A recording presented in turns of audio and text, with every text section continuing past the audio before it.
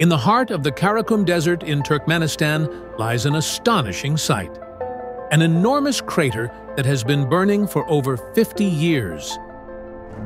In 1971, Soviet geologists were drilling for natural gas when the ground suddenly collapsed, creating a giant hole. Fearing the release of poisonous gas, scientists set the crater on fire, expecting it to burn out in a few days but it never did.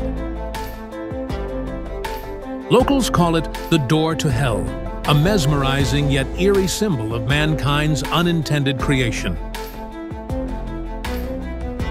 Today, this fiery pit attracts adventurous tourists from around the world, drawn by its surreal beauty and haunting story. But for how long will the door to hell burn? Scientists are still unsure, making this one of the world's most fascinating geological mysteries